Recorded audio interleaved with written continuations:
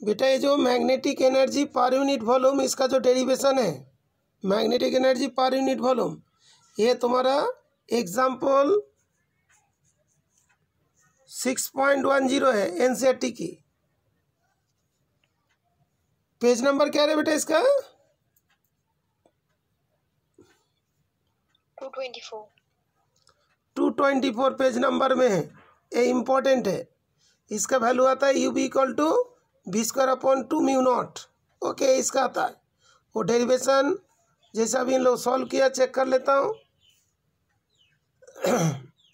Magnetic potential energy की जो बात होता है हाफ़ एल आई का स्क्वायर ओके इंडक्शन के रेस्पेक्ट में हाफ़ एल आई का स्क्वायर हाफ़ एल आई यहाँ से फाइंड कर B equals to mu naught I I के वैल्यू पुट कर दो B upon mu naught N का होल स्क्वायर तो एल का वैल्यू क्या होता है mu naught N square L mu naught N square L अभी इस जगह पे दोनों पुट करने के बाद म्यू नॉट का स्क्वायर एन का स्क्वायर ये कैंसिल हो जाएगा।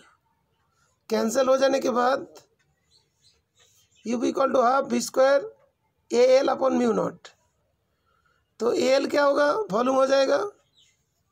इसको नीचे लेकर वॉल्यूम तो हाफ़ म्यू नॉट पी का स्क्वायर तो इसका कितना आया? B square upon two mu naught. ये थोड़ा सा ध्यान रखिएगा। अभी इलेक्ट्रोस्टैटिक पोटेंशियल एनर्जी होता है, हाफ़ इप्साइलन नॉट ई का स्क्वायर। इसका भी प्रूफ करके सेंड करो। इसको भी प्रूफ करके सेंड करो। ये इलेक्ट्रोस्टैटिक, दोनों इंपॉर्टेंट है।